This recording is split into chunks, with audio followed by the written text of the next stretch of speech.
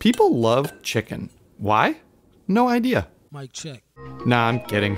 Humans domesticated chickens at least 7,000 years ago in Southeast Asia and Oceania from the red jungle fowl. Chickens have the benefit of producing eggs and meat without competing for human resources. They can live off our scraps. We used breeding to mold them to our liking. Though unfortunately, it seems chickens spread first through cockfighting rather than food.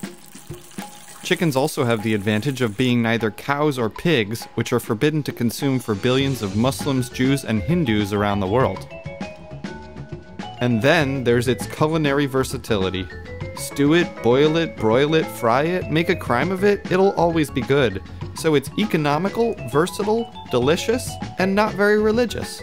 And that's why chicken is so popular. At least, that's the short version of the story. If you'd like a longer video on this, hit the like button or let me know in the comments. Thanks for watching.